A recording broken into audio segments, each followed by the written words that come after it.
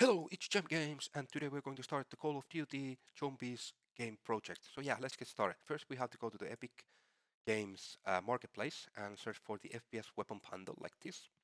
Now we have to click the first click the free button, and after that, add the project.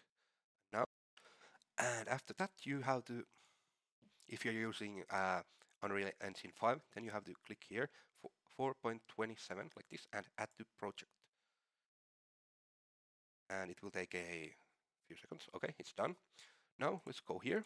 Now we have that FPS weapon bundle here. We have all the weapons and stuff like that. Yep. Now we can close this and we can actually go to the first person blueprints folder here. We can actually remove all these like this.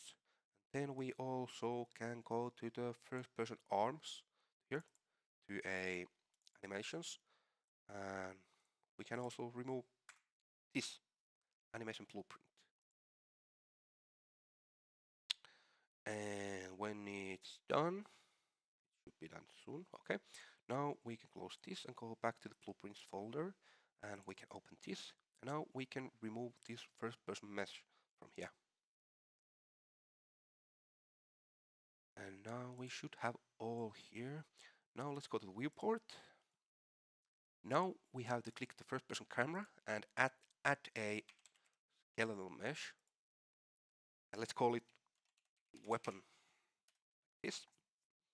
Or actually let's call it weapon weapon underscore mesh. So it's easier to remember. Now we can change it to a I will change it to SKAR4 now uh, I will turn it 90 degrees like this. Then I will move it to 30, 30 and minus 25. Oh, yeah, I think it might be that. Now I will move it this to here. Now let's try. Okay. The weapon placement for me looks good. So yeah, let's continue. Now we can actually create a, let's cre create a um, struct structure. Let's call it weapon underscore struct like this. Now let's open it and let's just add a few variables. First one should be, uh, let's call it uh, weapon mesh and let's change the type to skeletal, me skeletal mesh object reference like this. And the next one should be um, it should be placement. For example let's change it to vector. And now let's create one more it should be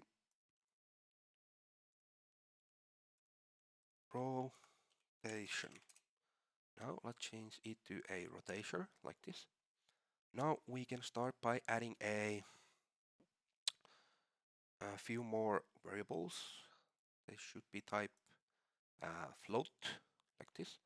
The first one should be called uh, actually let's create this first Let's go back here. Let's create a enumerator.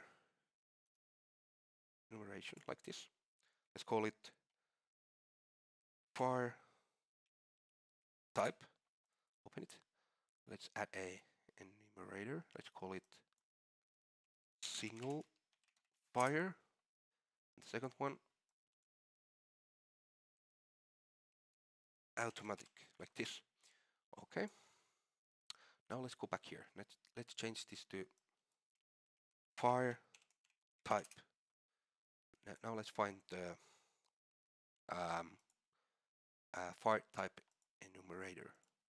Fire type like this. Okay. Now we have to add a float, which should be called recoil amount. Recoil amount like this. Next one should be called recoil. Recoil yaw. The next one is recoil length. Recoil length. Length like this. The next one, oh, I forgot the. The next one is,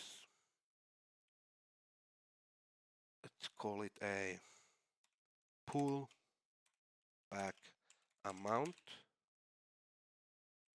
like this. And the next one is fire rate. And then we need maybe a bullet spread. I think these are good. Okay. Yep. Now let's save and close this. Now we can go to the event graph and now let's create a new function. It should be called get weapon stats and I will actually remove this because we don't need that. Uh, now let's open this. Now, now we have to actually create a first weapon. Let's create a data table like this. And we have to share the weapon struct.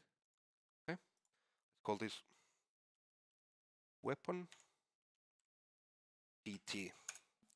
Now let's open it. Let's create a first uh, weapon. Let's add. Let's make the weapon mesh the AR4 and the placement should be now let's go here. Let's check the weapon mesh. 30 30 minus 25 so placement 30 30 minus 25 like this. And the rotation is minus 90 minus 90 like this and it should be automatic fire. Fire recoil amount we don't have to touch these yet. Let's put the fire rate for example 0.1 and bullet spread. We don't have to touch those yet but okay. Now we can actually close this. Actually we can change the row name to a um, one. Okay. Now let's close this. Now we have to, now we can actually uh, create a new variable called weapon index like this. Let's change it to type integer. Now we have to get data table row like this. Now we can get the weapon index we can to name? Oh to string first and from the string to the name. This now it should work. I don't know why we have to do it like that or like this but yeah. So weapon index and the data table should be this. Okay. And if the row is found actually we can sp split this. And if the row is found if the row is found, we have to um, first we actually have to we have to get the weapon mesh and set skeletal mesh asset like this from the row found. And actually we can recombine this and promote to a local variable like this. Let's call it weapon info or weapon data like this. And now we can just split it here. And we can get the weapon mesh from here to here like this. And the second one should be the placement. So we should be, okay, let's just copy this to here. Set relative, relative location. Actually, we have, can set the set relative transform like this. Now we don't have to do it many times. Now we can split this. Now we have the location, which is the placement. And now we have the rotation, which is the rotation. And then we can uh, go here and we can get the weapon data again. So it isn't such a mesh mess.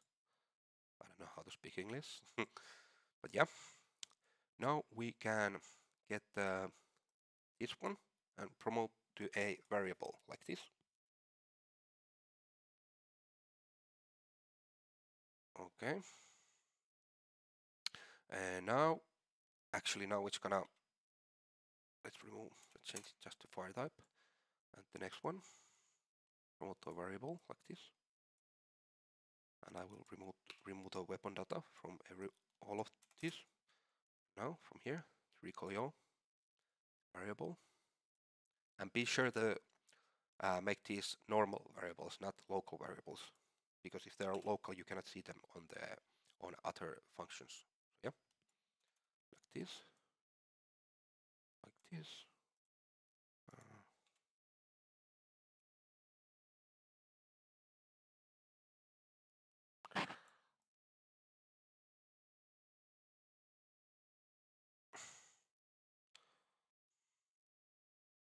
and then the fire rate here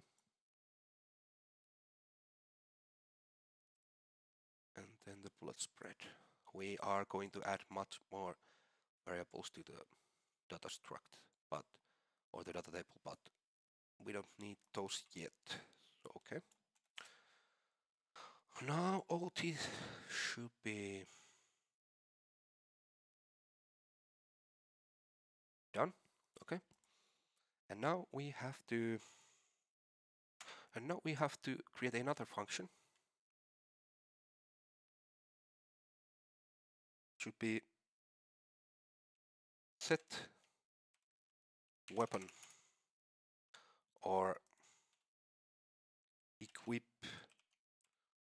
weapon is actually better so yeah and now we have to get the uh, weapon index. And from the weapon index, oh, actually we don't have to do this yet. So yeah, let's remove this. Okay, now this is done. Now let's change the weapon index uh, variable uh, default value to one, like this. Now we can go to the event graph and we can actually begin play from here we can actually call this and actually we can change the name to set set weapon stats like this. Okay. Now when we start the game it should look the same. Okay yeah. But now if we create another the here if we add another row duplicate this and change this to a number two.